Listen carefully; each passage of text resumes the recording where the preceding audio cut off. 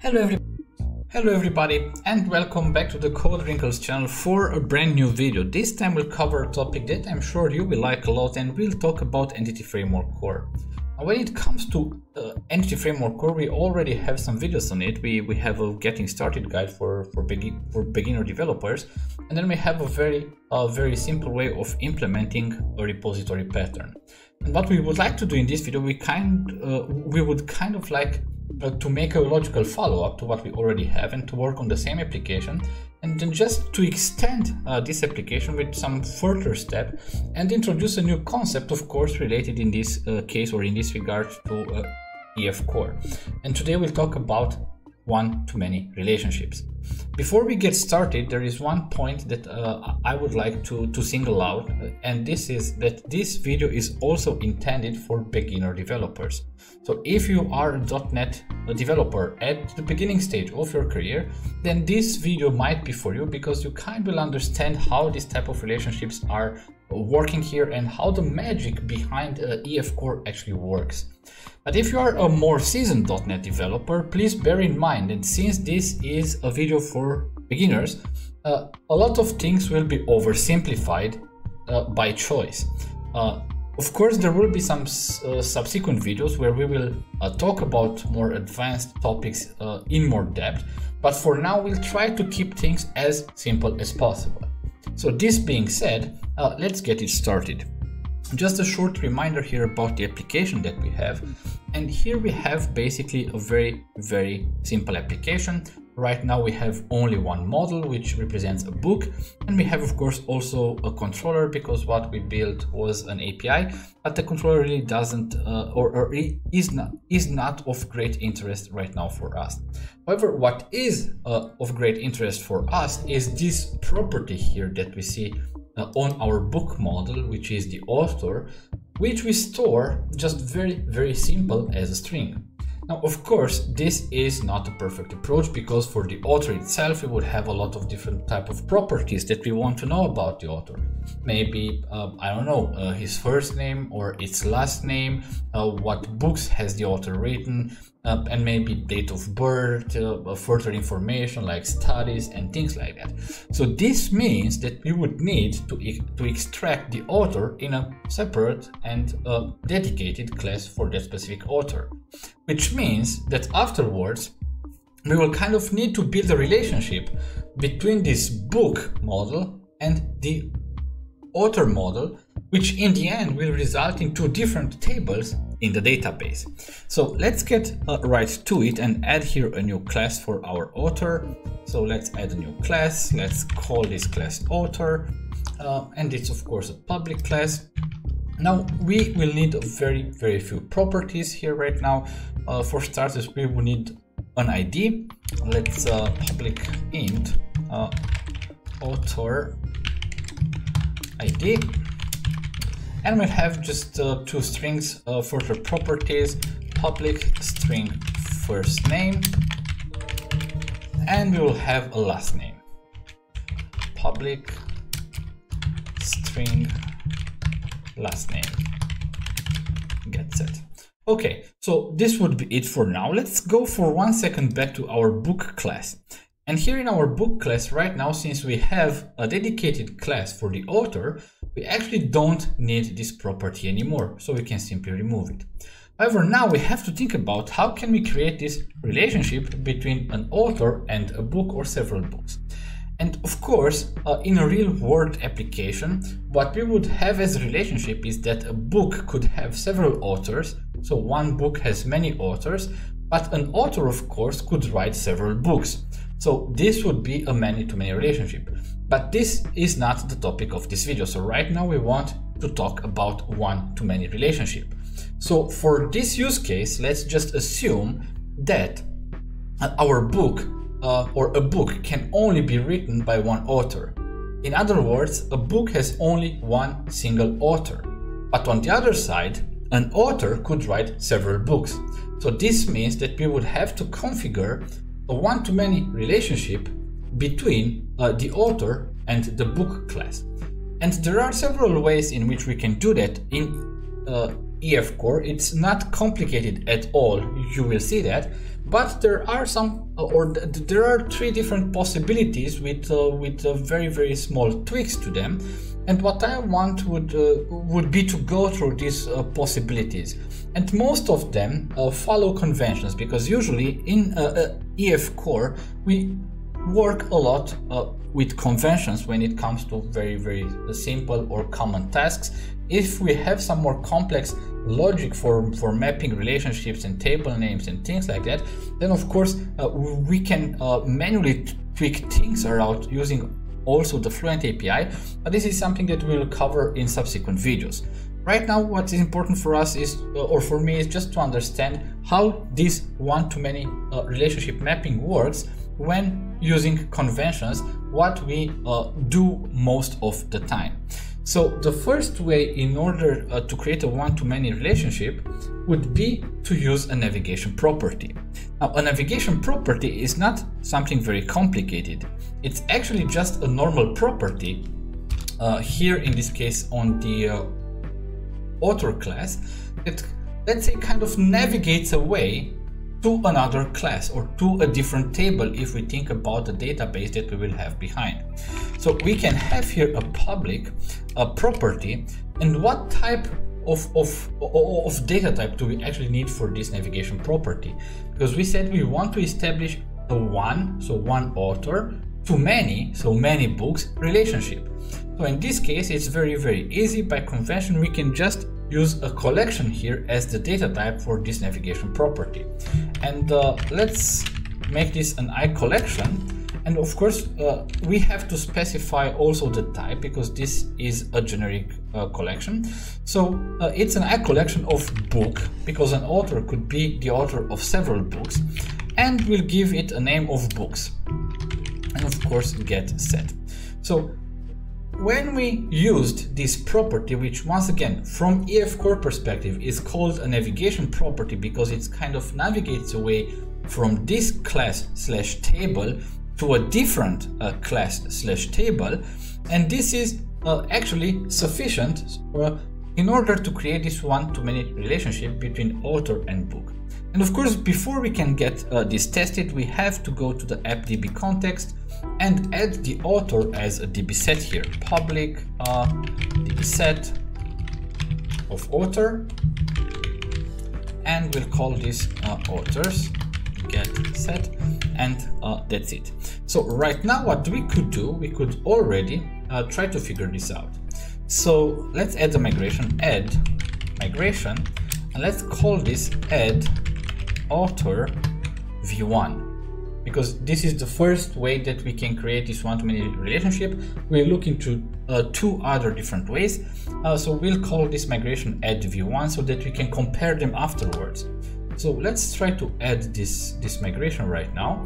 And it seems that uh, everything worked. So let's look into the generated migration class. This class, once again, is a short reminder, each time we create a migration, what Entity Framework Core does is it generates a migration class where you can basically look and see what will happen when you want to update the database. Because once again, right now we just added this migration, so the intent of changing something in a database, but the database in the backend is still the same, so no update was applied to the database. So that's now the place where you can review this and, and take a look what would happen when we apply this migration to the database. And first of all, we will see that uh, there is a drop column on the books table because we have removed the property called author on the book table. Of course, uh, it will uh, remove uh, the entire column because it is not needed anymore. And then uh, what happens is see that on the book uh, on the books table we add or the migration will add a new column which is called author ID uh, and it is not nullable and it is of type int. So this is actually the mapping uh, to the author. So each book uh, will have basically the foreign key to the author that uh, wrote that specific book. And then uh, what it does is that it creates a new table, of course, that is called uh, authors and if we look in this table, we can uh, see different uh, uh columns that it will create for the ID, which will be also the primary key. Uh, then uh, the first name and the last name. So it's exactly what we have uh, expected. It also creates some index. Um, it creates here a foreign key and uh, other things like that. And also what happens when we delete a resource with these referential actions and uh, this concept of referential action is something that is not really complicated but is very very important. So we'll have a dedicated video uh, where we'll talk about about what referential action actually means what the different options are and what the behavior is uh, in uh, these different uh, types of uh, options. Now uh, i guess that this would be okay. So I don't want to update the database right now. What I want to do uh, instead is uh, actually try to go uh, to the next uh, way uh, that we could uh, create actually this this one-to-many relationship and the, the second way we could do that is using what we call an inverse navigation property. Now once again, what we call an inverse navigation property is not something very complicated. Uh, actually, uh, the author class will remain uh, absolutely like it is before. So uh, we won't change uh, anything here. But we can, what we can do is because maybe when we get a book from the database, we want to also get the information about uh, the author that uh, wrote the book. So in that case, we can kind of like uh, add here a new property, which would be public, and uh, then uh, it would be of type author, and we can also name it author. Now, the idea why we call this an inverse navigation property is because uh, as said in author, we have this I collection of book that we call the navigation property. And basically what we have in book, this author navigates back to this specific property. So this is why we call this an inverse navigation property. Now, the idea is that this is also sufficient right now. So uh, if you want to create a one-to-many relationship using this way with inverse navigation property, uh, you just have to add here in this book class, for instance, a new property of type O, in our case, author, that would navigate back, let's say, to this table here. And actually, uh, this would be okay. So let's try to add a new migration. Add migration add author uh, v2 and now we see that uh, we created a migration file but we don't have uh, actually nothing here uh, in what happens when we when we will or when we want to kind of apply the migration. And the reason why this happens is that no matter if you configure this one-to-many relationship using only one single navigation property of type, of type iCollection like we did here, and no matter if instead of using only the navigation property you also add an inverse navigation property, what happens uh, behind is that uh, it generates exactly uh, it would generate exactly the same thing that we generated in in the previous migration. And since these two migrations or the last migration would generate the exact same thing that we have here, it basically created an empty migration. So nothing will change uh, after we did uh, this very, uh, very small change. Now that's very, very simple and and uh, we are kind of done. And there is the third way that we can uh, use in order to create this one-to-many relationship. And the third way is what we can call a fully defined relationship. And this fully defined relationship actually builds on what we already have. So right now, just a summary, we have this book where we have this inverse navigation property uh, to the uh, author class. And then we have author where we have a navigation properties that contains uh, actually a list of books. So this means that we create a one-to-many relationship. Now, what it means to have a fully uh, defined uh, relationship is that the author class would actually remain the same. So it, it, it would kind of be exactly the same uh, that we have here. But uh, here, what we would have to add is a public it would be int and author ID. And this is actually a, a, a way to specify more clearly and more exact, more concise, uh, that clearly here we have the foreign key for the author and then we have the information itself about uh, that uh, specific uh, author. Now let's uh, go back here and add a migration. Add migration.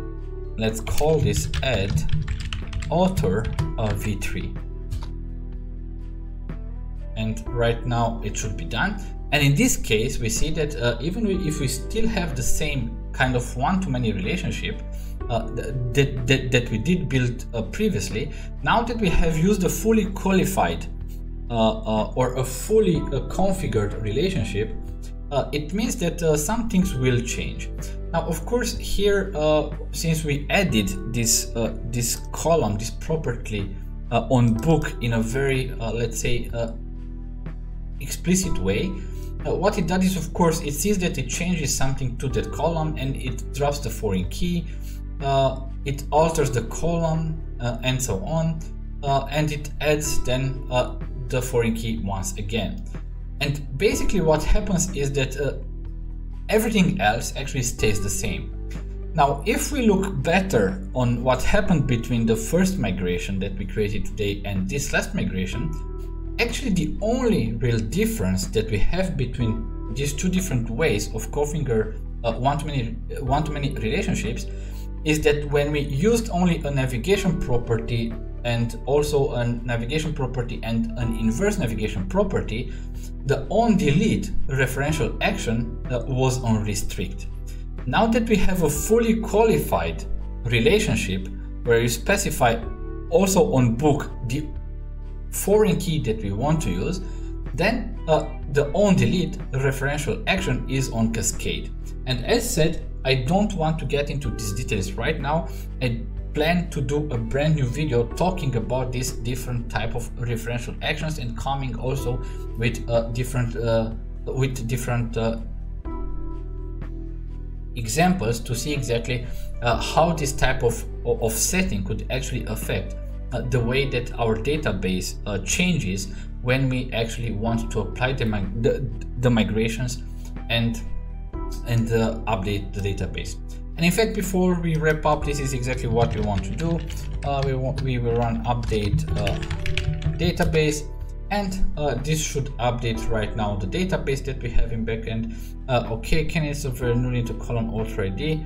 okay, we have an error here. Um, because something is null and this has probably something to do with the fact uh, that uh, the migration v1 and migration v3 uh, kind of uh, overlap in a certain way but I don't think I, I would like right now to, to spend more time to dive into this error but I can assure you that uh, if you go from, from, from the first try uh, uh, either for the first approach where you create only a very simple navigation property or for the third approach where you create a fully defined one-to-many relationship, uh, everything should actually uh, work fine. So yeah, that would be uh, for today. Thank you very much for, for watching. I hope you enjoyed this video. If you find this content useful, don't uh, forget to, to subscribe, uh, to hit the thumbs up button. That would be also very, very important to me to, to know that, that you found it, this content useful. And of course, don't be shy. And if you know people that might benefit from this content, then, then just share it uh, uh, with your friends, uh, share it in your networks. That would be very, very helpful. This being said, once again, thank you very much. And until the next time, I wish you the very best and stay safe.